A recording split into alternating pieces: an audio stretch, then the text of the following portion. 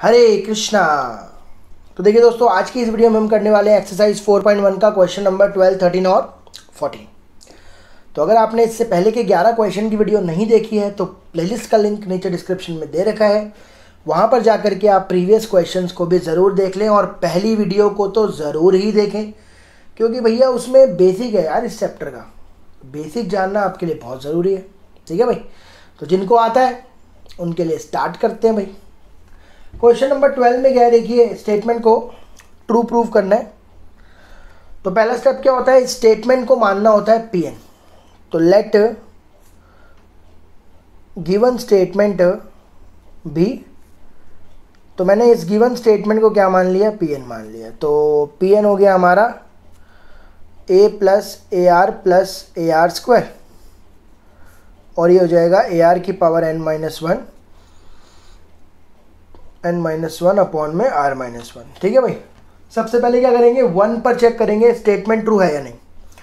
तो लिखेंगे for N equals to one तो ये हो जाएगा पी वन तो इसकी पहली टर्म है ए और उधर भी फॉर्मूले में एन की जगह वन लगाना है आपको। तो ये हो जाएगा आर की power one minus one R minus one तो आर की पावर वन आर ही होता है तो R minus one R minus one ये तो कट हो गया। तो ए इक्वल्स टू ए हो गया इक्वल तो लिखेंगे statement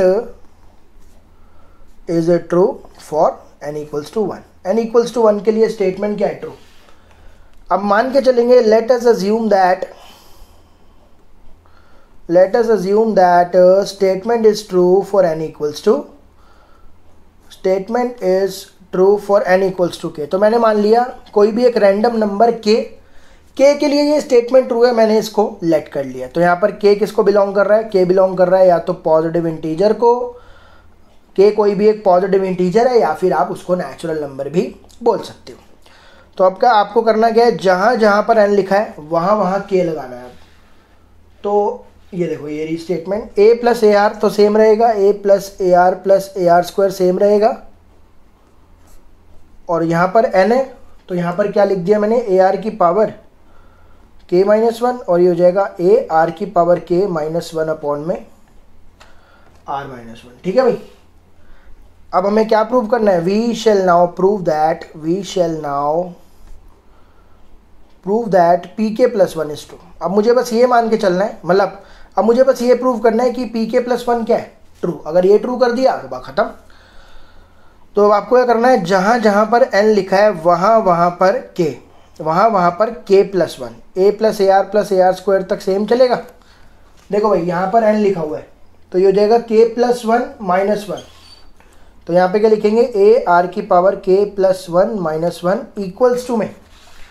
यहाँ पे लिखा हुआ है एन तो ये हो जाएगा के प्लस वन तो क्या आ जाएगा? ए आर की power K plus one minus one upon में आर माइनस वन तो यहाँ पर वन से वन कट गया तो ये हो गया A plus A R plus A R square plus A R की पावर के और हमें लाना है ए आर की power K plus one minus one upon में आर माइनस वन अगर मैंने इन दोनों को ट्रू प्रूव कर दिया तो खेल खत्म।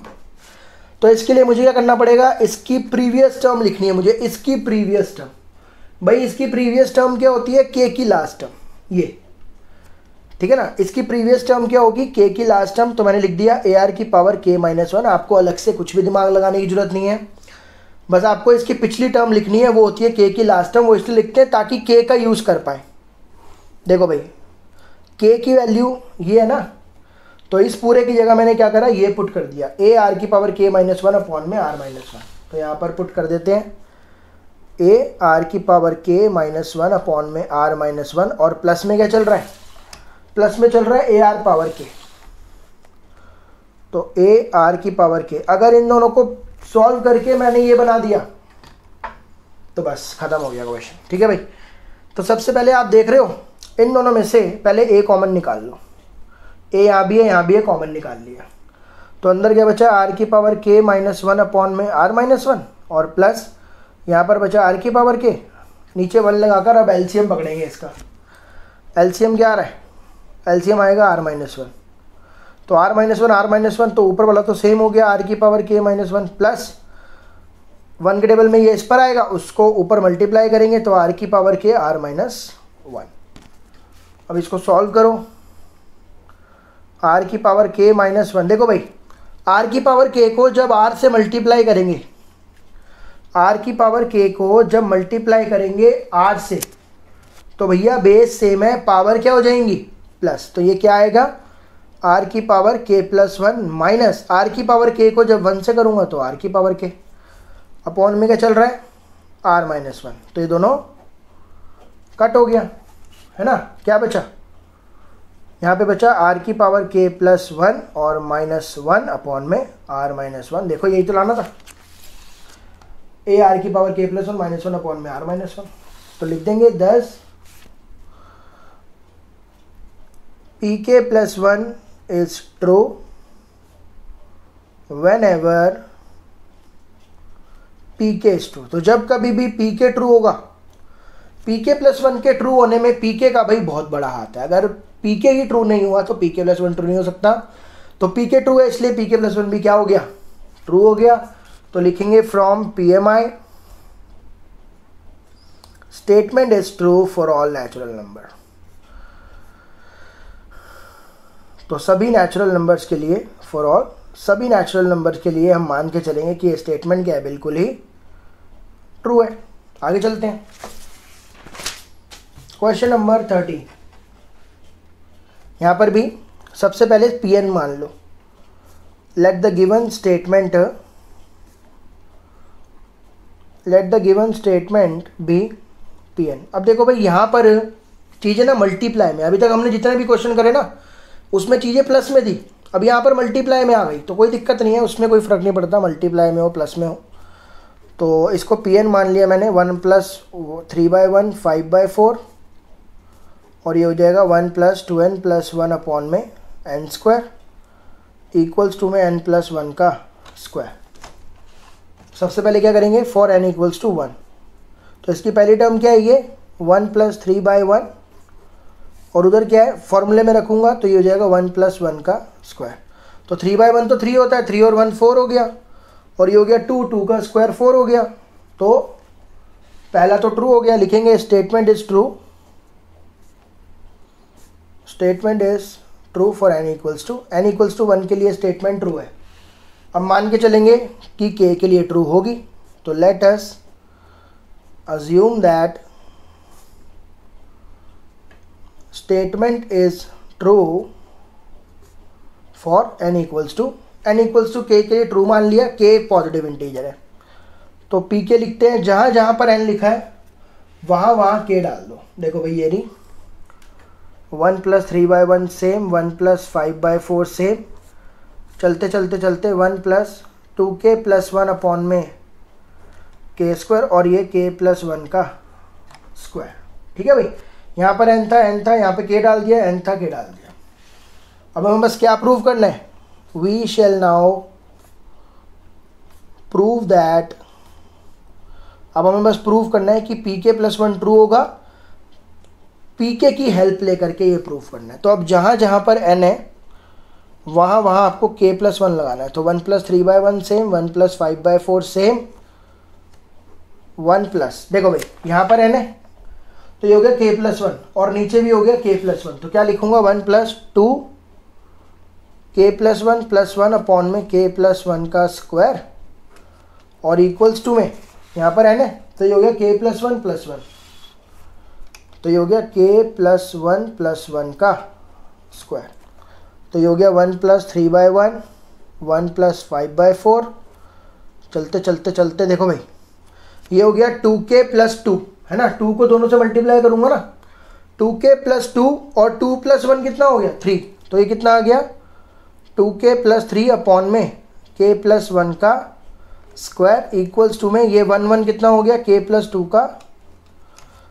ठीक है ना? ये स्टेप समझ में आया ना आपको? ये two k plus two plus two plus one plus three बन गया। अब आपको क्या करना है? इन दोनों को इक्वल प्रूफ करना है, इन दोनों को। तो इन दोनों को इक्वल प्रूफ करना है के का यूज़ करके। तो इसकी पहले प्रीवियस टर्म लिखनी पड़ेगी और प्रीवियस टर्म क्या होती है? के की आखिरी टर्म यानी कि one plus two k plus one upon में के स्क्वायर है ना ये इसकी प्रीवियस टर्म हो गई। अब यहाँ तक का आंसर इधर तक का आंसर देखो, ये रहा। पुट कर रहा हूँ यहाँ पर। तो यहाँ पर मैंने पुट करा के प्लस वन का स्क्वायर और बाकी ये जो चल रहा है मल्टीप्लाई में वो सेम लिख दिया। One plus two k plus three का अपॉन में के प्लस वन का स्क्वायर। तो one plus two k plus three upon में के प्लस वन का स्क्वायर एज इट इज़ लिख दिया। अब इसका एल्शियम पकड़ लो आप। के प्लस वन का स्क्वायर एल्शियम आएगा ऊपर। के प्लस वन का square plus two k plus three upon में के प्लस वन का स्क्वायर। ना? इन दोनों का एल्शियम आएगा ये तो ये ऊपर चला जाएगा, ये वन से मल्टीप्लाई सेम टू सेम ये दोनों कट हो गए। अब के प्लस वन का स्क्वायर क्या होता है? A square two A B फिर B square plus two k plus three तो ये क्या बन गया? K square plus two k plus one plus two k plus three तो ये हो गया k square plus two k two k four k plus four और आपको इसको, देखो, इसको लिख दिया के का स्क्वायर फोर को लिख दिया टू का स्क्वायर और ये हो गया two into k into two तो ये बन गया, ये ए प्लस बी ये किसका स्क्वायर है? के प्लस टू का स्क्वायर है ना? भाई के स्क्वायर को मैं के का स्क्वायर लिख सकता हूँ फोर को टू का स्क्वायर लिख सकता हूँ, और फोर के को लिख दिया two into k into two तो ये फॉर्मूला नहीं बन गया A square B square two A B इसका फॉर्मूला बन गया? एक्स के प्लस टू का होल स्क्वायर देखो यही तो जाना था आ गया। तो यहाँ पे लिखेंगे thus P k plus one is true whenever P k is true तो जब कभी भी पी के ट्रू होगा पी के प्लस वन ट्रू होगा तो from P M I statement is true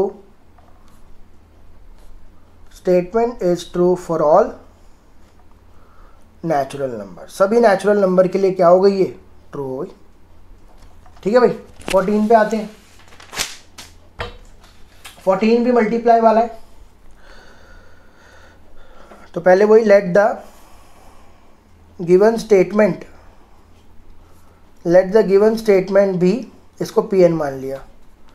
तो पी एन क्या हो जाएगा मेरा? One plus one by one one plus one by two one plus one by three करते करते one plus one by N और ये हो गया एन प्लस वन तो अब क्या करेंगे? सबसे पहले वन पर चेक करेंगे for N equals to one ये हो जाएगा पी वन पहली टर्म ये रही one plus one by one और फॉर्मूले में पुट करूँगा वन प्लस वन एन की जगह वन तो ये हो गया वन और वन टू और टू तो वन के लिए स्टेटमेंट क्या हो गई? True statement is true for N equals to one N equals to one के लिए ट्रू हो गई. अब क्या करेंगे? फिर से वही let us assume that let us assume that statement is true for N equals to N equals to k के लिए मैंने मान लिया स्टेटमेंट ट्रू होगा, ठीक है भाई? तो अब जहाँ जहाँ पर एन लिखा है, वहाँ वहाँ के लगा दो, देखो भाई। यहाँ से टिप दो, ये रहा। One plus one by one one plus one by two, one by N की जगह पे क्या आ जाएगा? के और यहाँ पर एन की जगह पे क्या आ जाएगा? के प्लस वन, ना? तो मान लिया ये स्टेटमेंट ट्रू है। उसके बाद we shall now prove that statement is true for N equals to k के लिए मैंने मान लिया स्टेटमेंट क्या है? ट्रू है। तो अब जहाँ जहाँ पर we shall now prove that statement is true for we shall now prove that P k plus one is true sorry थोड़ा सा मिस्टेक हो गया। अब हमें क्या प्रूव करना है? कि पी के प्लस वन ट्रू है। बस यही तो प्रूव करना है। तो जहाँ जहाँ पर एन है, वहाँ वहाँ पर अब के प्लस वन लगाएँगे तो one plus one by one one plus one by two तो सेम चलेगा। अब देखो, यहाँ पर था एन तो वन प्लस वन अपॉन में k plus one one plus one upon में k plus one equals to में एन की जगह पे आएगा k plus one plus one k plus one plus one तो ये क्या बन गया? One plus one by one one plus one by two, और ये सेम लिख दो, वन अपॉन में one plus k plus one, और ये हो गया के प्लस टू। वन और वन टू हो गया ना? अब, इसकी जो, अगर मुझे इन दोनों को इक्वल प्रूफ करना है तो मुझे इसकी प्रीवियस टर्म लिखनी पड़ेगी। इसकी प्रीवियस टर्म होगी के की आखिरी टर्म जो कि है वन प्लस वन बाय के। तो यहाँ तक का जो आंसर है, वो ये रहा, के प्लस वन। तो मैंने लिखा के प्लस वन और ब्रैकेट में चल रहा है वन प्लस वन अपॉन में k plus one one plus one upon में के प्लस वन एल्शियम पकड़ लो इसका. एल्शियम क्या आएगा? के प्लस वन तो के प्लस वन को वन से मल्टीप्लाई करूँगा सेम वन को वन से करूँगा वन ये कट गया. तो के प्लस टू आ गया. के प्लस टू ही लाना था. तो लिखेंगे thus P k plus one is true whenever